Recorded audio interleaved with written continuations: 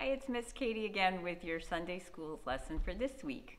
Last week, you heard Pastor Kathy talking about Jesus when he raised Lazarus from the dead. This week, we're going to hear about Saul's new job. Here's a picture of Saul.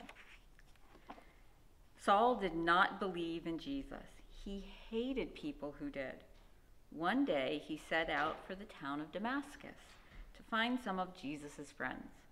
It was Saul's job to put them in jail. As Saul was walking down the road, a bright light suddenly shone down from heaven, kind of like the bright light above my head coming from the window in the back. A bright light suddenly shone down from heaven. Saul fell to the ground as he heard a voice say, Saul, why do you hurt me? Who are you, Lord? asked Saul.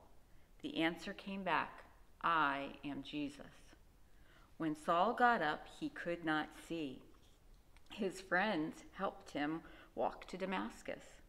There he met a man named Ananias. Jesus had talked to Ananias in a vision and told him to put his hands on Saul's eyes.